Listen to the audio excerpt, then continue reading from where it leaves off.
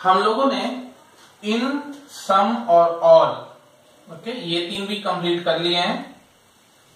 अब हम लोग स्टार्ट करेंगे कंटेन कीवर्ड को, ओके कंटेन्स है actually contains so now we will see contains keyword या सेट ऑपरेशन तो पहले तो सिंपल इंग्लिश की बात करते हैं। अगर हम बोलते हैं कि A contains B I think ये समझ में आ रहा होगा। इसका मीनिंग क्या होगा? B subset of A that means A contain कर रहा है बी को तो obviously B subset of A और B contains A means A is subset of B and so ये आई थिंक सबको क्लियर हो रहा होगा। एक छोटी सी बात हमें और याद रखनी है कि जो डिवीज़न ऑपरेटर है ना रिलेशनल एल्जेब्रा का, उसको हम लोग कंटेन्स सेट ऑपरेशन से एसक्यूएल में इंप्लीमेंट कर रहे हैं। ठीक है? मतलब डिवाइड या डिवीज़न नाम का कोई कीवर्ड आपको एसक्यूएल में नहीं मिलेगा। अगर आपको डिवीज़न ऑपरेटर चलाना ही है तो उसके लिए हमारे पास कंटेन्स सेट ऑपरेशन गिवन है। ठीक? एक क्वेरी करते हैं, उससे आपको एग्जैक्टली क्लियर क्लियर हो जाएगा कि हम काम कैसे करेंगे। जैसे हमने लिखा select S name from supplier S where select title from book B supplier S one where B dot B I D is where b dot bid is equal to s1 dot bid and s dot sname is equal to s1 dot sname contains select title from borrow user book where borrow dot card number is equal to user dot card number and borrow dot bid is equal to book dot bid and user dot name is equal to abc ठीक? ये just मैंने read कर दिया query अब थोड़ा सा मैं इसको समझाता हूँ कि हमें इसको अप्रोच कैसे करना दिखने में बहुत बड़ी क्वेरी लग रही है but it is very very simple यहाँ पे मैं आपको एक और कंसेप्ट सिखाऊँगा नेस्टिंग का। ओके okay, ये भी बहुत इंपॉर्टेंट कंसेप्ट है जो हमें क्लियर होना चाहिए। नेस्टिंग इन द सेंस यहाँ पे हम कैसे कर रहे हैं? जैसे देखो select S name from supplier S आप ऐसे सोचो सप्लायर टेबल से मैंने पहला टपल पिक किया और उसका एस ने मैंने ब्लाइंडली उठा लिया। ठीक? मैंने पहला टपल लिया और उसका एस ने पिक कर लिया। अब मैं क्या कह रहा हूँ? Where select title from book B supplier S1 where B dot BID S1 dot BID and S1 dot SNAME is equal to S dot SNAME पहले सिर्फ़ इतनी बात करो। इसका मतलब क्या होगा? बुक और सप्लायर का हमने आपस में ज्वाइन करवा लिया है। ठीक? ज्वाइन करवाने के बाद इसकी बात अब मैं करता हूँ। इसका मीनिंग क्या है? S1 dot SNAME is equal to S dot SNAME that is exactly what is known as nesting. ठीक? ये नेस्टिंग है। याद रखना, जो यहाँ पे एस नेम लिखा है, वही एस नेम मैंने उठा के यहाँ लिख दिया है। ये हो गया ना, जैसे सप्लायर एस था तो एस डॉट एस नेम हमने यहाँ लिख दिया।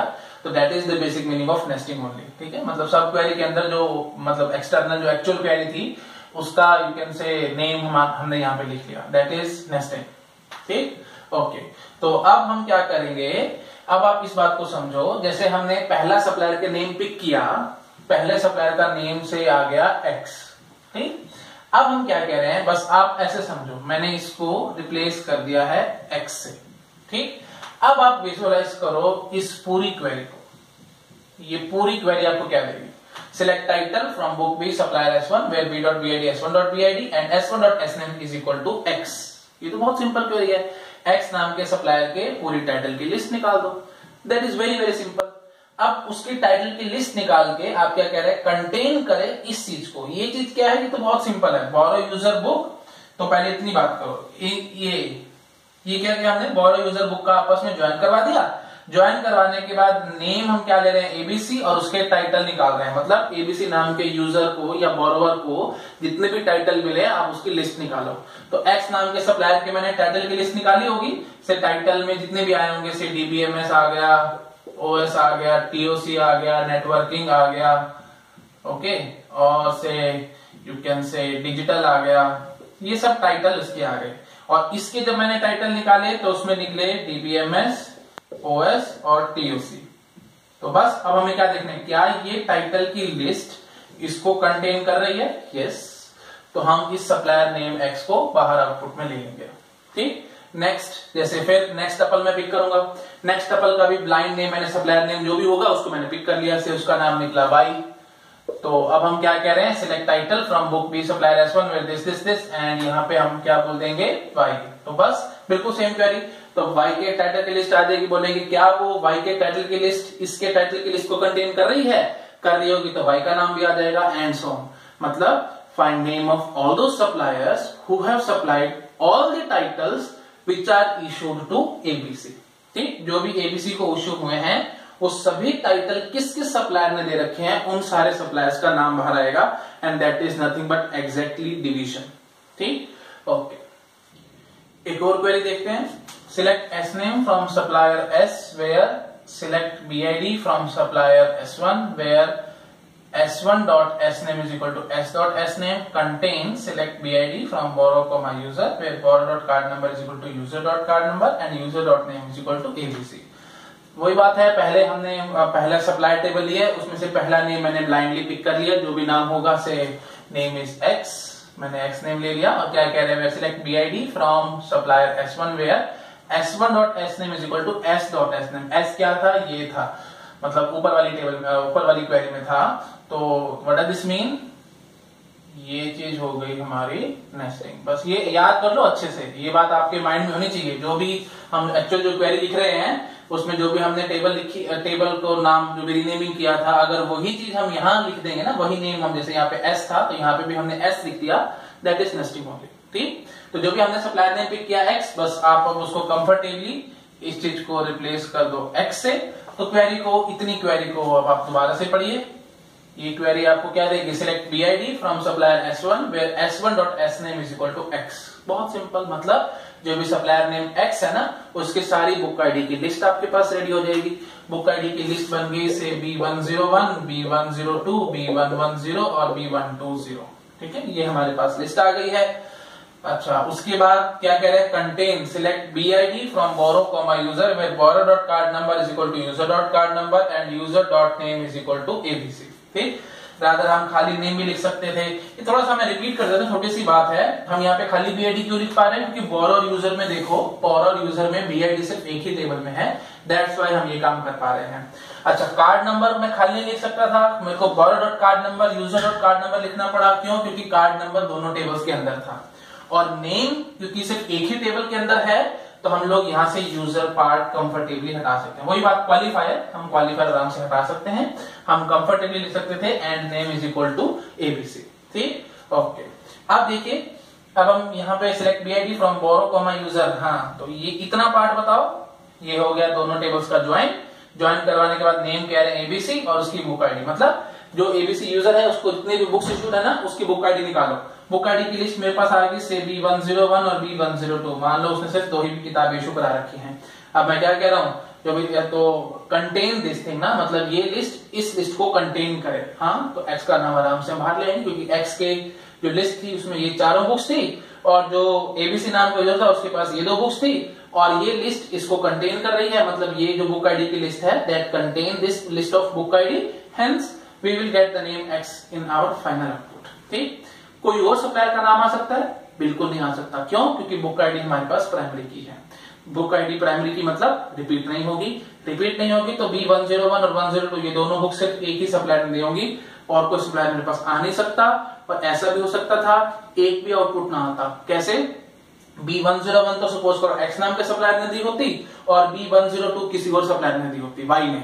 तो अगर ये एक्स ने दिया, ये वाई ने दिया तो फिर दोनों तो ऑब्वियसली हमारे पास नहीं आ पाएँगे, क्योंकि जब आप पहले एक्स नेम के सप्लायर की लिस्ट निकालोगे, वो भी इसको कंटेन नहीं करेगी, क्योंकि बी वन ज़ीरो टू नहीं आएगा।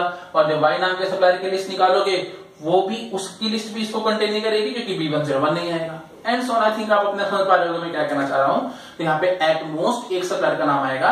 लेकिन प्रीवियस क्वेरी जो हमने अभी की थी, उसमें मल्टीपल सप्लायर आ सकते थे, क्योंकि उसमें हम टाइटल के थ्रू जा रहे थे, यहाँ पे हम लोग बुक आईडी के थ्रू जा रहे हैं। ये सारी बातें मैंने आपके साथ रिलेशनल जबरा में भी की थी बट स्टिल मेरे को लगा तो मैंने थोड़ी सी इसको रिपीट करा है। ठीक? और बहुत इंपॉर्टेंट है, इसको प्लीज़ माइंड में रखना। गेट में काफ़ी क्वेश्चन आते हैं। नेस्टिंग का कंसेप्ट एकदम नया था, जो हमने अभी सीखा है। ठीक? याद क्या रखना है? जो भी ये, जो भी हमने रीनेमिंग करी होगी एक्चुअल क्वेरी के अंदर, क्या वो सब क्वेरी में भी आ रही है? अगर वही रीनेमिंग यहाँ पे हमने, जैसे एस था तो वही एस हमारे पास यहाँ पे भी आ रहा है। समझ लेना नेस्टिंग है। ठीक? और वहाँ पे जो भी आप नेम पिक करेंगे, आप यहाँ पे मतलब उसको पुट करके क्वेरी को आराम से सॉल्व कर सकते हैं। This is one of the simplest way जिससे मैंने आपको एक्सप्लेन किया। तो फाइनली आंसर क्या दे रही है? Find name of all the find name of that supplier who has supplied all the books issued to ABC previous query क्या थी? Find name of all those suppliers who have supplied all the books of same title as issue to ABC वहाँ पे मैंने all the suppliers word क्यों use किया था? क्योंकि बहुत सारे सप्लायर्स आ सकते हैं। और यहाँ पे मैं क्या कह रहा हूँ? Find name of that supplier मतलब सिर्फ़ एक ही आएगा। आया तो। क्या पता वो भी ना ठीक? तो क्या है ये query find name of that supplier who has supplied all the books issued to ABC ठीक ओके नेक्स्ट क्वेरी देखिए Select card number from borrow B where select title from borrow B1 book B2 where B1 dot BID B is equal to B2 dot BID and B1 dot card number is equal to B dot card number contains select title from book where title is equal to DBMS. I think आपको देखते नज़र आ रही होगी एक query मैंने ज़बरदस्ती बनाई है जस्ट आपके कंसेप्ट क्लियर करने के लिए नेस्टिंग से रिलेटेड ठीक है तो पहले तो पहचानो नेस्टिंग कहाँ हुई है। नेस्टिंग ये रही। ठीक है, क्यों? क्योंकि बोरो भी लिया था ना हमने तो वही भी हमारे पास यहाँ रखा है दैट मीन नेस्टिंग तो पहली चीज़ देखो select card number from borrow B मैंने कार्ड नंबर ब्लाइंडली पिक कर लिया से पहले टपल का कार्ड नंबर था सी वन ज़ीरो वन अब यहाँ क्या कह रहा हूँ? Select title from borrow B one book B two where B one dot B I D is equal to B two dot B I D that means what borrow और book का मैंने join करवा दिया। Join करवाने के बाद मैं क्या कह रहा हूँ? B one dot card number is equal to B dot card number तो बी डॉट कार्ड नंबर को मैं रिप्लेस कर सकता हूँ सी वन ज़ीरो वन से। बहुत सिंपल क्वेरी होगी। कार्ड नंबर देख लो सी वन ज़ीरो वन उसके टाइटल निकालो। मतलब जितने भी title card C one zero one पे इशूड है, उन सब सबकी लिस्ट निकालो। लिस्ट निकाला इसे। आ गया डीबीएमएस ओएस टीओसी नेटवर्किंग ठीक है, ये लिस्ट आ गई और नीचे वाली क्वेरी क्या कह रहे select title from book where title is equal to DBMS तो ये तो समझ में भी हार होगा, ये तो ज़बरदस्ती है, और कुछ नहीं है, यहाँ से तो खाली डीबीएमएस ही बाहर आएगा। तो हम क्या कह रहे हैं? क्या ये लिस्ट डीबीएमएस को कंटेन कर रही है? कर रही होगी तो कार्ड नंबर बाहर आ जाएगा। मतलब find all those card numbers on which DBMS book is issued मतलब जिस, जिन्होंने भी डीबीएमएस टाइटल की किताब इशू करवाई है, वो सारे कार्ड नंबर हमारे पास बाहर आ जाएँगे। बहुत अलग अलग तरीकों से, बहुत सिंपल वे से मैं इस क्वेरी को सॉल्व कर सकता था बट मैंने ज़बरदस्ती कंटेन से आपको दिखाया है, ताकि आपको थोड़ा सा अंदाज़ा हो जाए कि कंटेन्स में हमें काम कैसे करना होता है। पहली चीज़ कंटेन्स की आएगी तो आपको पहली नेस्टिंग पहचाननी होगी। मैंने यहाँ पे आपको नेस्टिंग पहचान करवाई। नेस्टिंग पहचान करने के बाद आपको जो कंटेन के नीचे क्वेरी है, आप उसकी लिस्ट निकालो और देखो जो पहले ऊपर वाली जो यूकेन से हमने सब क्वेरी लिखी है उसकी लिस्ट निकालो और नीचे वाली की लिस्ट निकालो। देखो क्या ऊपर वाली लिस्ट नीचे वाली लिस्ट को कंटेन करती है। अगर कंटेन करती होगी तो जो भी हमने सिलेक्ट में लिखा होगा, वो चीज़ बाहर आ जाएगी। ठीक? इस चीज़ को आपको माइंड में रखना है। एक छोटी सी बात मैं और बता देता हूँ, शायद आपको कंफ्यूजन आ सकती है कल को। यहाँ पे जो लिस्ट आप निकाल रहे हो ना टाइटल की लिस्ट निकाल रहे हो तो यहाँ पे गलती ये मत कर देना, यहाँ पे बी आई डी निकालने की कोशिश करो। ऐसे काम नहीं चलेगा। आपको यहाँ पे भी टाइटल तो यहाँ पे भी टाइटल ही लेना पड़ेगा। बस आपको ध्यान रखना अगर यहाँ टाइटल है तो यहाँ पे भी आपको टाइटल ही रखना पड़ेगा।